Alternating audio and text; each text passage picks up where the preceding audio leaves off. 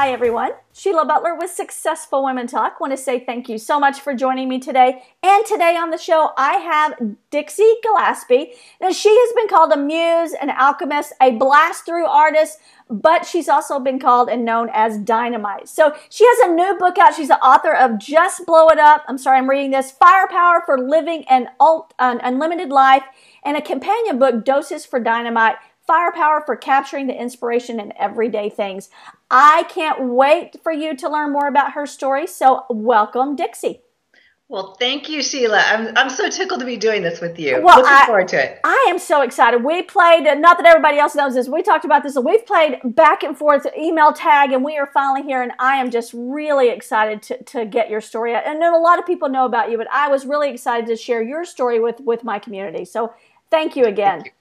Case of two determined women. Nothing was going to stop us from doing this. we are doing this no matter what. That's right. That's well, right. Uh, listen, you know, I kind of like people like to know a little bit of background story. So we're all we all like to feel like we know somebody, and we meet people online and and we read their story. But why don't you give us a little bit of history about yourself and kind of how that got you to where you are today? Oh, most of it's accident after accident if you believe in accidents, which I don't. You know, it's kind of yeah. funny. I always say there's nothing, no such thing as coincidence. And my friend Richard Bach says there's a whole principle of coincidence. Either way you look at it, you know, you, you got to pay attention to those accidents, to those coincidences, right? Right. So I originally intended, well, I was, I was going to be a drama coach. Yeah. Ah um, I and, and not because I really love the stage. I'd already gotten kind of bored with being on stage, but I like to direct. What does that tell you about me, right? um, but I love to coach. I love to see people, you know, kind of come out of whatever fear or inhibitions they were having and kind of step into their own. So I was going to be a drama coach, and I, and I look back at what I was like when I was in, in theater and drama class. I'm like, really? You wanted a whole classroom of those people? what were you thinking? But that was my plan. And uh, my my father actually had had developed prostate cancer when I was still in high school. It came back in the bones. So I went home, nursed him. I came back with the I'm going to go back to school, and I don't know, drama seemed a little trivial at that point in my life and I needed to make a living. I'd been without income for a while. And so I, I, went to work for an accounting firm. I'm, I don't belong in an accounting firm. That was, that was an accident. But basically I walked into a temp agency and I said, I need temp work. I want to go back to school. What do you want to do? I don't know yet. You know, I was definitely in this. I haven't figured out my passion purpose thing at this point. I just know I'm not going to be a drama coach. I'm, I'm pretty sure about just this. Stop doing that. And I'm not going to work in an accounting office. So two two little eliminations. they said, "Well, you go out and interview with this dentist. He's he's contracted us to find him an office manager. We know you don't want a full time job, but go make us look good. Shoot." Okay. So I go have a two hour conversation. Great conversation. Wasn't really an interview. I get home, the phone's ringing, and uh, it, it, he says, "Dixie, this is Pete. There's something I forgot to ask you." I said, "Sure, Pete. What was that?" He says, "Will you come to work for me?" I said, "Sure." Why not? right? Because I got nothing better to do with my life. I don't, you know. So I actually went into, and I knew nothing about dentistry. I mean, I didn't even know that a cleaning was called a prophylaxis. So I go through training, and they're like, "Hit F8, and we'll charge out a prophy." And I'm like, "F8, I got prophy? What? what does that mean?" What? Right. So I managed his office for a little under six years, um, more than doubled it. I mean, it was just an incredible experience. He was he was a wonderful mentor for me. And then the next accident, because uh, that was a total accident, the next accident was getting into healthcare consulting. It seemed like a natural stepping off point. Looking back, I'm like a consultant, really? But I did I did that for a lot of years and kind of reached um, a nice a nice level of success and beautiful. I, I, I, look back and I'm a little little impressed with myself in retrospective. Yeah. But I I that was so accidental and it was such a wonderful training process. I mean it was kind of MBA in a box and you know getting into organization organizational development, but they didn't want me in personal development. I was definitely drawn to the personal development side and that was not where this company wanted me to be. And so I literally kind of came to my senses at a funeral. I, I was sitting at a funeral. It's, it's, one of the things that I talk about and just blow it up was was this realization that this guy's 10 years older than I am, died with no warning, unexpectedly. They went to find him, you know, dead that morning, and uh, it was it was this big. If that happened to you in 10 years, what yeah. you know what, what do you have to show for your life? What would they say about you? And i realized that there was this that little light you know i think of mm. passion as that flame inside was pretty much dead. And so i went off in the direction of, of personal development which took me into coaching and took me right back to the roots of never never accepting can't You know, even as a little tyke, somebody'd say, You can't do that. And I'd say, I can too. Just watch me. and, and, there was no better way to get me to do anything than, than to tell me it wasn't possible for me. And uh, so coaching has taken me right back there. I love that. Full circle. That's right. That's right. And I, I want to touch on this a little bit more because you talked a little bit about you don't believe in accidents, like things are really supposed to happen. And, and you know, before I kind of thought, oh, well, it just happened. But you know, over the last three or four years, I have decided just because of the situations that I've been put in that people are put in my life at the right moment. Or you have like you said, you have to be open minded to it. Maybe those people were always there, but I wasn't as aware and open minded and go, oh my goodness, this really was supposed to happen. Yeah, you know, some people see supposed to as you know the external divine um, you know in your life there, there are a lot of ways to experience this nothing is an accident part. But the way I look at it, Shelia, is you know, I, I'm in control of my life. You know, the, there's always this this human element where we think we're not in control because we're just a human. Yeah, we're, we're just human. But the truth is, we all have a spiritual self. And that spiritual divine self, whether we, you know, perceive it as an external channel, an internal channel, whatever it is, that's acting on our behalf as well. And so I don't think of supposed to as preordained or destined. I, am not a big believer in, in destiny or or fate. So much as I am, I know that I have a higher connection um, within me that knows why I'm really here. You know, my human self is a little clueless. you know, I, I kind of agreed to that by being human, right? That I would pretend to be a little clueless. But there's that other part that isn't clueless and that knows what my purpose is and kind of knows what I'm on this journey for. And that that self draws things in or becomes aware of things that otherwise wouldn't have meaning. So it's more like finding the gifts in the experience or the gifts in the relationship or the gifts in, in anything. It's the gifts in the accident, not the was it supposed to be or not supposed to be. You find the gifts you need in order to accomplish what you're here to accomplish, I think. I totally agree. Okay, Paul, I'm gonna pause one second. I'm gonna take. I will cut this little part out, but I want to turn off my notifications because it's gonna drive me crazy.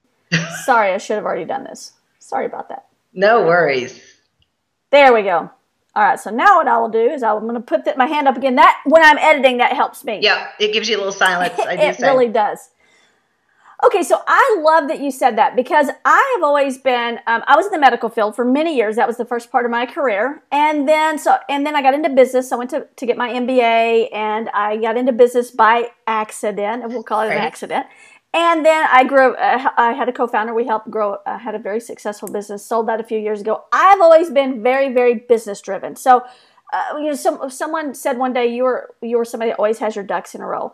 And I do agree with that, but I've never got into the I will call it the woo-woo side of me. So more of the personal development side. Although I read a lot of business books, but recently somehow I have in my mastermind group, I have a friend that's very woo-woo, very business, but very woo-woo. Right. And she's she's very realistic about it. So she's helping me realize the other side of things. And I really have now figured out that I'm missing this part that I have put off because it wasn't as that's not what people want. They don't want to know the personal side of me. They want to know the business side. It's kind of amazing when you get into um, you get those things kind of aligned. It's funny how that's playing a big part in my life right now. Oh, we have so we have so many parallels in what you just said because as a consultant, you know, I always call it the navy blue suit years. You know, if you read just blow it up, you'll find yeah. this little section on the the navy blue suits and how navy blue suits don't suit me. That was that was so not me, but it was a part of me I needed to explore right? Because yes. as a child i was i was very drawn to the idea that there's more to us than the corporal body. And what was that connection? And i was raised in what was basically a christian cult. I mean it was very secretive not even registered with the government you know very under the radar. We met in homes not churches. So i was i was raised with a strong tie to spirituality but within this box so I had a box for my spirituality. I was supposed to experience it within this box. I don't do well with boxes of any boxes. kind, right? I don't even understand the concept of a box. So, you know, I, I as a child, I like to explore how other people experience their spiritual nature. And then I got into business, and oh my, you were not supposed to go there. Yeah, that's you know that's fuzzy management. That's, that's right. That's woo woo. that has no place in business. And yet, I observed that the most successful people in business or anywhere else were the people who brought literally the spirit of what they wanted to accomplish into their work. You know, they they didn't necessarily bring faith or religion into their work, but they were there, you know, body, mind, and spirit. Yep. And I thought, we're leaving this, you know, we got the body mind thing going on, and I'm training the heck out of everybody's body mind. Where's the spirit? Yeah. Because that's where energy comes from. You know, yeah. ultimately, it's that that passion, that desire, that purpose, that inner motivation and connection that drives our, our, our energy. And that comes from a place of spirit. So if we don't connect with that, it's just work. And yeah, I'm not yeah. really any more into just work than I am boxes. It's just, that's just not fun. I agree. I love that. You know, I want to ask you real quickly because you touched a little bit on your childhood. How did you? We won't get to the, the, people can read about it. Well, you, I know you've talked about that a lot recently. Right. But how do you break out of that box? So, uh, because if you're you're an only child, right, and you were raised in kind of a very strict cult, like what you call a cult like religion, how did you get out of that? Because so many people can't. They are still they stay in that box. How yeah. did you get beyond that? Or they get outside the box and they feel very alone. Yeah, they know what to do. Uh, they knew what to do in the box, and all their connections were in the box. Yeah. And the weird thing for me was, I'm actually not an only child. I had a brother and sister that were ah. 16 and 17 when I came along. That's right. You were 16 years difference. That's yeah. So I was raised as an only child. I mean, they were more like an aunt and uncle, and gotcha. and you know, not that they weren't family, but they weren't like siblings to me. There was no way that that yeah. could happen. And my father had not come into this religion when they were growing up. So they had one parent in, one parent out. So, you know, they got a little, maybe a different perspective of the world and what's right and wrong. For me, you know, like my my siblings listened to secular music. They had recorded music. That wasn't I wasn't supposed to go there. You know, people said you can't do that, and I was like, yeah, I'll find a way. Um, music is one thing can. you can't keep out of my life. But um, so that was a, a weird perspective. Then, of course, there was the generational gap. So my parents were older. What was not appropriate to them, even from outside of the faith, was suddenly very much okay with my generation. And that was really hard for them to accept. So there were just can'ts everywhere. And to tell you the truth, Shelia, I think that was a favor because it was so over the top. You know, my box was so constricting that uh, most people couldn't have lived inside this little tiny box. most people's boxes is a little more acceptable, manageable, so they don't fight it as hard, right? right? So I think in a way that was a favor. I fought like crazy because it was so confining, and and so I think the first thing is to understand you're in a box, right? I, I understood I was in a box. I was constantly told, no, you can't do that. You can't wear your hair down. You can't, you can't wear jeans. You can't, you can't, you can't. And I knew that was, that was unreasonable. That, yes. that, so it was obvious to me I was in a box and I wanted out. Most people, the size of their box is just comfortable enough that they'll stay in it. So the first step is to realize that you are bigger than your box. You, you need to be bigger than your box in order to live a fulfilled life. So recognizing the box, step number one. And then the next thing that happens is, you know, for a lot of kids raised the way that I was raised, they want to do everything that was outside the box. And they just kind of go a little crazy. I really, I kind of credit Richard Bach's book Illusions with my not quite going there um, but it was still kind of this balancing act of what do I really want? I've wanted all these things that were off limits. What do I want badly enough to do it? What's smart? What's not smart? Now that I've said I can do anything, you know, I can do anything, but there are probably things I shouldn't do. They're not in my best interest. so it's figuring that out. So the next thing I always tell people is, you know, you, you don't accept can't, but don't pursue everything just because somebody threw up a brick wall. I did that. It was a it was a phenomenal waste of energy. so no, I've already proven that one yeah. for you. You don't have to go there. Do not go recreate the will. She's That's telling right. you right here. That's right. Unless you want to, you know, do it and write your own book. In which case, you know, call me and let me know how it goes. Yeah. But uh, but yeah, it was a phenomenal waste of energy. Just everything that somebody said I couldn't do, I was like, yeah, you want to bet. I mean, I ended up with frostbite one time because I was told it was too cold to go ride a horse. and I'd been seriously thinking that myself. But the minute somebody said it's too cold, you'd never be able to stand it. Yeah, I, I'm I'm in the in yeah. the saddle, right? Was frostbite. So don't do that. The, so it's connecting to what you do want that was outside the box. And I think that that connection to true desire is what we leave out when we leave the spirit side out of business. Yes. Because we say this is the right thing to do for the business. Well, yes, but does it serve you? and nobody asked that that's actually why i left the consulting company i was with yeah. they wanted textbook cookie cutter management and their practices weren't performing as well as my practices were because i was going to the doctor and saying what do you want uh, and yeah. then my, my doctors would pursue it they would really go for it and the ones that were getting cookie cutter this will work and you should do it because it will generate more income weren't doing it yeah I love that. And you know, when we say box, and we're talking about you had to break out of that from your childhood, but this could be anyone. Where we could talk about a woman that's married, a mother. She wants more than just that. I know some people are afraid to admit that, but you know, we some of us do. I love being a mom, but I want more. I want to also have a career. I want to help people. It could be that box. It could be the hey, you're a woman, you can't do that. Hey, you're a mom, you can't do that. Hey, you can. Don't take can't. Uh, I mean, like you said, you've tried. You try to help people eliminate that word from their vocabulary. Right. And you know, the, the box goes the other way too, because there's this whole box that says if you're going to be a professional woman, if you're going to, you know, be a high level, you know, C level, director level employee or a successful entrepreneur, you're going to sacrifice being a mom. It's not okay to, to have children in your life now because you, you've got to play by their rules. And I don't take that can't very well either. you know, I, yeah. rules, you know, what rules? You decide the rules based on what you need in your life. And so we have all of these, um, and, and they're so confining. We have all these things we identify with. I identify as a woman. I identify as a professional woman, or I identify as a you know a domestic woman, or it's it's all this either or. There's no either or, guys. Yeah. It's it's whatever combination you choose. I agree. I, I believe to say that, that you can have it all. You just have to define what your all is. That's, so you can have all that you want. All that you yeah, want. Yeah, exactly. I love that. Well, let's talk a little bit about your book. So you wrote a book, and I, I think I heard or read somewhere that you you never thought you would be an author. So how was that writing process for you? How long did it take? How hard was it, or did it just kind of flow once you got started? Yes, yes, yeah. You know, I love it. Yes, ask me that question on any different day. It's so funny. and you know, I I never really you know everybody says well you love to write you love you know love to read. I grew up with no television no radio none of that. So books i mean that was where i got story. And if i have an addiction it's definitely an addiction to story. I love story. Um, and so why didn't you want to write a book? And i'm like oh no it wasn't that i didn't want to. It's i assumed i never would because i have a really high standard. So i read some amazing, amazing authors, fiction and nonfiction. And the idea that I would ever step into that world just seemed arrogant, presumptuous.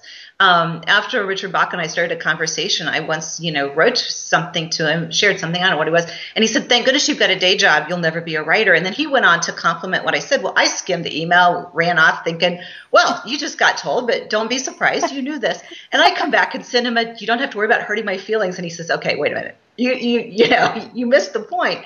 And so I told him I always thought I'd be a writer with a, a little W, you know, blog posts, articles. I'd, I'd been published in, you know, things like dental economics, nationwide journals, but that wasn't writing to me. That, right. you know, that articles were different. That was work. So I didn't, I didn't think I'd mm-hmm. ever write a book because my standards were so high, I'd never share it with anybody. And everybody said, you got to have that free download. You know how people say, you got to, you got to? Well, I caved to that one. Okay. You can't and you got it you can't, you gotta, you should, you must. Oh, right. Yeah, all these these extreme absolutes. Yeah, but exactly. I caved to that one, and I thought, you know, it is it is true. I want to offer some value for free and connect with people. So I did the typical ebook, you know, newsletter sign up thing. And the ebook I wrote was a little thing called Anatomy of a Brick Wall. And it was breaking down those four types of walls, those I can't because statements, and the process that I use in coaching to, to break through them. And it turned out to be longer than I expected because, boy, once I got started, I found out I had a lot to say. but I put that out there, did not really think much about it. And then two things happened. One, that's how Richard Bach and I actually connected. He downloaded it, read it, sent me a tweet. Weird, but not an accident. No accidents. as, you know, as he wrote a book called Nothing by Chance, and that's that's the inside joke, right? Nothing right. by chance. And then the other thing was I connected with uh, the guy who was then in charge of, of Sound Wisdom, my publisher, and has moved into their parent company as, as president. But Nathan was at an event that I uh, was spoke at, and then sponsored one of my events. And he said, you know, when are you going to write a book? And uh, you know, I suppose I gotta. You know, somebody's going to tell me I gotta write a book. or you eventually I'll do it. But I intended to self-publish. Scott Ginsberg's a good friend of mine. He right. self-published with a team here in town. I was like, okay, I'll do it when I get around to it. Yes, I I know I, I gotta, but I'll self-publish. And Nathan just very quietly kept at me to take that ebook and turn it into a full length book. So the writing process, by the time I realized I'm going to write a book, I'm, I'm really going to like write a book for a publisher kind of thing. It was it was partially written. Um, I had you know Richard in my corner, which is no small thing, and he gave me the best advice I, I, have ever heard. And he got half of it from Ray Bradbury. So he had reached out to Ray Bradbury, who was a big, big hero of his, and said, okay, what do I need to do about writing a book? And Ray said, write a thousand words a day, and it doesn't matter if they're good or not. You just set yourself a standard of a thousand words a day. Some days they will not be good, and some days they'll be so good you'll you won't believe you wrote them. But write a thousand words a day. Okay, so that was step number one. Richard added to that: you write, you don't edit. You never edit and write in the same pass and his thing that saved me because I'm a collaborative person. I I have my mastermind. I believe in the power of of you know adding other people's thoughts. We don't do anything alone. It's impossible to do anything alone. It's always rooted in a shared experience. I love that. But you know, he said, don't share it with anybody until you're ready to defend it with your life. Ah. And so I didn't. That was the hardest part of writing this book. because you want so, that support also, oh, right? Like, oh. I want the feedback. Actually, I'd like for somebody to tear it apart and tell me what yeah. I did wrong, you know? And he said, "No, even if they're complimentary and mean it, if their if their advice is dead on and and makes it better, you don't share it until you're ready to defend it with your life." And oh my gosh. So, 1000 words a day, never edit and write in the same pass and the hardest one keep it to yourself until you're sure you've done the most with it that you can. I love that. Oh that, that's great. Now uh, you have another book in you? Or two, oh you know the dam is broke now shelia. It's, you're out you there. know absolutely. Now doses of dynamite is actually a devotional quotation book of some of the more thought provoking quotes from Just Blow It Up. So it's really kind of you read Just Blow It Up and then you take that and you do your own work because, you know, all those quotes came out of what I did with it. But it's not meant to be telling you how to do something, it's telling you how I did it so you can figure out how you do it. So the quote book is very much for you to sit down and do your own work with these concepts. Uh, I don't really think of that as a separate book, it's almost like a work book. It's just prettier because it's a gorgeous, gorgeous book. The photography is beautiful. It is not mine, so I can say that. The next book, well, I, I actually have another book written. It's a fiction book, um, eh, partially fiction that draws from childhood experiences oh. and the healing process, and that has not been submitted. I I'm still at the um, not ready to defend it with I was my about to say, not, you're not totally ready to defend that yet, are you? That's right. That's right. Although you know it's it's gotten some high praise from people that matter, but but not ready with that one. Um, and I'm looking at doing some joint books with some other experts, and then the next book for me um, will probably be the work around connecting passion, purpose, and presence. Ah. Um, because so many of us get lost in this: what is my passion? What is my purpose? But we never figure out how to externalize it and make a business out of it. You know, people say I'm passionate about it.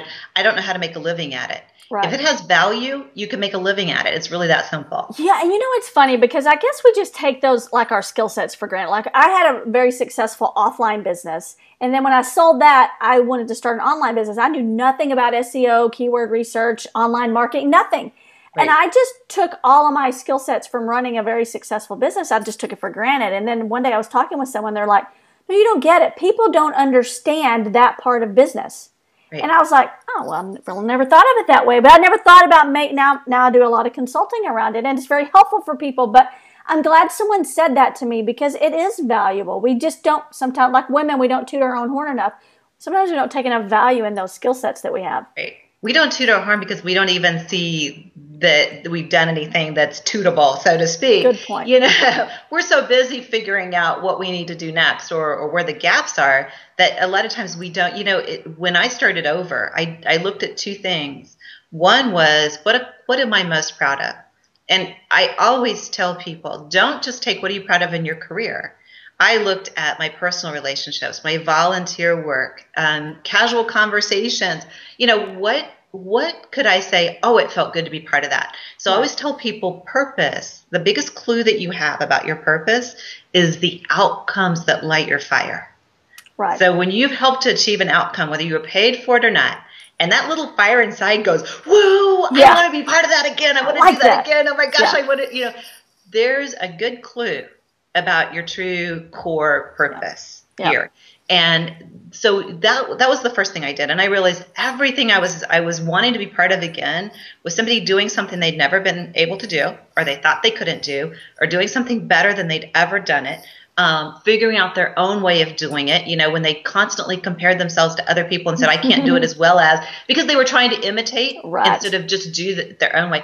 All of my accomplishments fell into that bucket, so to speak. I was like, oh, I'm definitely in the wrong part of my industry here. you know, this consulting thing, and I still do a lot of consulting with my clients. That comes in, but we coach first. We get through the mindset stuff and then we get into strategy and know how. So that was a big clue. And then the other thing I tell people to do is category, you know, inventory and, and, and create buckets of all of your success stories for the success factors that went into creating them. What did you have to know, be, or do in order to make that happen? Because there's your true strengths. You know, there's Right. a a clip of an, an interview that I did with Scott Ginsberg somewhere. It's floating around somewhere that he he was doing a presentation. He brought me up afterward. We talked about starting over because I've started over many times, and I always say you never start over with nothing, so long as you have yourself.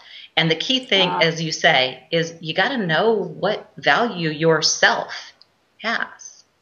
Yeah, and, and and have that strength and and be able to look deep because I remember like when I sold my company, it wasn't I didn't sell it intentionally, um, so it was a very traumatic experience for me, and I was like, you know, what do I do? I was a healthcare professional for fifteen or sixteen years, then I reinvented myself as a business owner, and then that was my identity, and then that was taken from me. So then, what do I? What am I now? What do I do now? I was very depressed. It was ter- it was a terrible time for me, and it took me a bit to go. I do the same thing I've done from the beginning. I love helping people, Right. but I didn't realize that. You know, I've I've done a lot of forums, you know, questions and ask people, what are you passionate about? 99% of the time, the answer starts with, I am passionate about helping people. And then, you know, my question is always helping pe- which people what? do what? Yeah. You know, Who and what? What, what Yeah. group of people and what are you helping them do? And more to the point, you know, when it comes to value, Shelia, is what changes for them because you help them do it Yep. you know we're that's that's the core of the true value and that's why i say you, you can make a business at anything because if you can answer that question of this group of people i help them do this and this is how it transformed their life Yep. Anybody will pay for transformation right That's right. I love it. Yep. I want to ask you one more thing. I heard you say somewhere uh, the term attitude determines your altitude, and I loved that.